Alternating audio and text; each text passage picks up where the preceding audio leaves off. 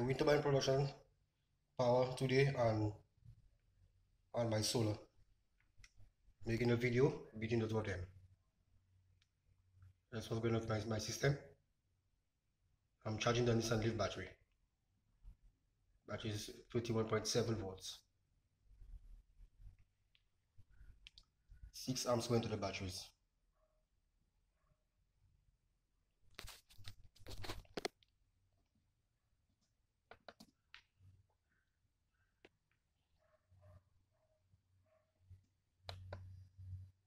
97.9 percent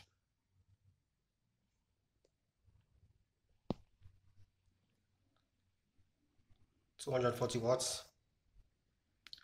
It's it's very it's cloudy today. There is not much sun. One point two kilowatts.